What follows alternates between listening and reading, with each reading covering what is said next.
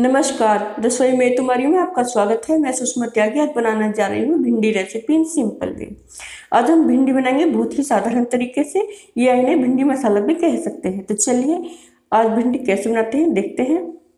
अगर आप मेरे चैनल पर नए हैं तो लाल बटन को दबा करके चैनल को सब्सक्राइब कर लीजिए और बेल बटन को दबा करके नोटिफिकेशन को ऑन कर लीजिएगा, ताकि आपको मिले मेरी रेसिपी सबसे पहले। थैंक यू और मैंने ये ढाई सौ ग्राम भिंडी ली जिन्हें मैंने धोकर रख लिया है। एक मीडियम साइज़ प्याज और एक मीडियम साइज़ टमाटर जिन्हें मैंने काट लिया था।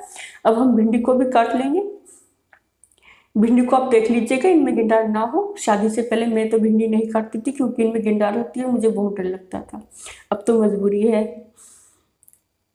और इसी तरह से मैं सभी भिंडियों को काट लूँगी। ये देखिए। अब हम बनाना शुरू करते हैं। एक कढ़ाई लेंगे, उसे गर्म कर लेंगे और उसमें दो बड़े चम्मच ऑयल डाल लेंगे। मैं मस्टर्ड ऑयल का इस्तेमाल कर रही हूँ, आप चाहे जिसका भी इस्तेमाल कर सकते हैं। और आधा चम्मच इसमें डालेंगे हम अजवाइन। भिंडी अजवाइन में ही बनती है, अरबी और भिंडी।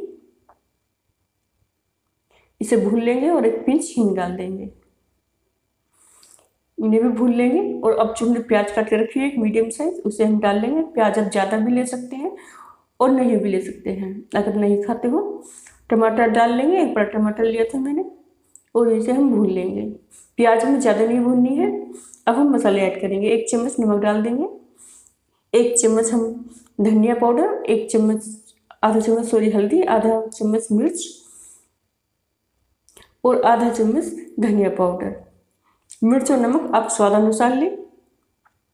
आप चाहे तो इसमें लहसुन अदरक का भी इस्तेमाल कर सकते हैं। थोड़ा सा हम पानी डाल लेंगे ताकि हमारे जो ये टमाटर है अच्छे से मैश हो जाए और ढक देंगे।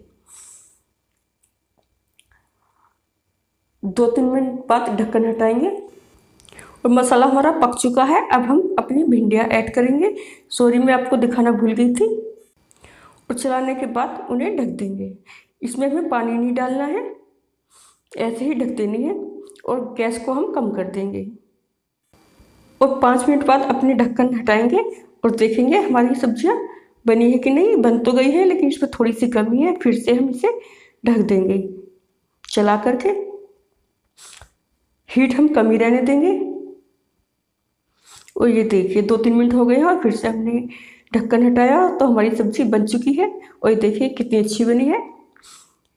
खिली खिली बनी है एकदम, और ये कच्ची भी नहीं है। तो हम इसे एक सर्विंग बॉल में कर लेंगे। और खाने के लिए सर्व करेंगे। इसे हम रोटी, पराठा पूरी किसी के भी साथ खा सकते हैं, बहुत ही टेस्टी लगती है और बहुत हरी सब्ज़ी है तो हेल्दी तो है ही। तो देखिए ना, भिंडी मसाला बनाना कितना आसान है, फटाफट से बन गया है। और अगर आप टमाटर का इस्तेमाल ना करना चाहें तो इसकी जगह आप आधा चम्मच अमचूर पाउडर डाल सकते हैं, या आप एक नींबू डाल सकते हैं, और अगर नींबू भी नहीं डालना चाहें तो जब हम मसाला भूनते तो उस वक्त आप दो चम्मच, दो छोटी चम्मच दही डाल सकते हैं, और भून करके फिर भिंडी डाल सकते हैं। तो इससे आपकी भिंडी बहुत ही अच्छी बनेगी। और आपको भिंडी मसाला कैसा लगा प्लीज़ कमेंट करके बताइएगा और बताइएगा किस किस को भिंडी काटने से डर लगता है। और प्लीज़ मेरे चैनल को सब्सक्राइब कीजिए लाइक कीजिए शेयर कीजिए। देखने के लिए थैंक यू